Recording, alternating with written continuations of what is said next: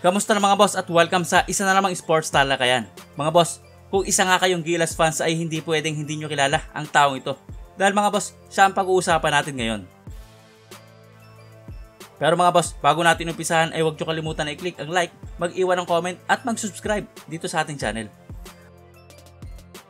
Mga boss, natatandaan nyo pa ba si Coach Raiko Toroman na isa sa mga naging pundasyon ng Gilas Pilipinas at nakilala din as Smart Gilas Team.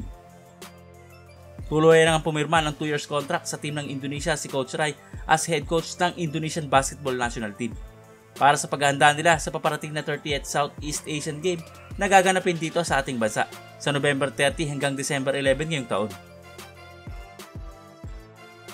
Mga boss, dahil nga isa ako sa tagahanga at sumusuporta sa ating national team, ay sobrang taas ng respeto ko kay Coach Rai. Dahil para sa kalaman ng iba nating mga kabasketball ay siya ang kauna-una ang naging coach ng Nooy Smart Gilas team taong 2009 hanggang 2011 kung saan nahubog ng gusto ang ating national team. At sa huling taon niya as head coach ay nagtapos ang Smart Gilas as 4th place sa FIBA Asia Championship taong 2011. Respeto pa rin sa kanya dahil naging mahusay siya na coach ng ilang team sa PBA. At naging parte ng coaching staff ng Mighty Sport na nag-champion lang sa nakaraang Jones Cup. Mga boss, kung bahagyangang gumanda ang standard ng laro ng ating national basketball team, yan ay dahil sa ganda ng pundasyon ni Coach Rai. At dahil dyan ay hindi rin malayo na mangyari ito sa Indonesia. Hindi man ngayong taon pero malamang ay hindi din magtatagal ay aangat din ang kalidad ng laro nila sa basketball.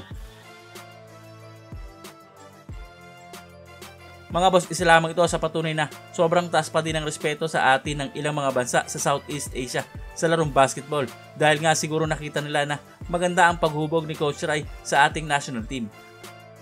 Kaya naman hindi sila nagdalawang isip pa nang makakita sila ng pagkakataon na kunin ito. At kasunod pa nga dyan ay ang pagkuha nila sa dating PBA import na si Denzel Bowles as newest naturalized player ng Indonesia Kumakailan pa nga ay naglabas ng pahayag si Coach Rai na hindi nga daw malayo na talunin ng Indonesia ang Pilipinas sa SEA Games. Para sa akin ay nasabi niya yun siguro para dagdag kumpiyansa na din sa bago niyang team or pwede din na sa tagal niya sa ating bansa ay meron siyang nakikitang kahinaan ng team na hindi malayong na scout na niya. Lalo pa sa huling SEA Games ay Gilas Cadets na lamang ang pinapadala natin as representative ng ating bansa dahil nga dyan mga bossing ay hindi din dapat pakakumpiyansa ang ating basketball national team sa paparating na Southeast Asian Game. Mga boss, alam natin na medyo may kalayuan ang standard ng basketball natin kumpara sa ibang bansa sa Southeast Asia. Pero para sa akin ay ang paghahanda ng bawat team ay pagpapakita ng respeto sa kalaban.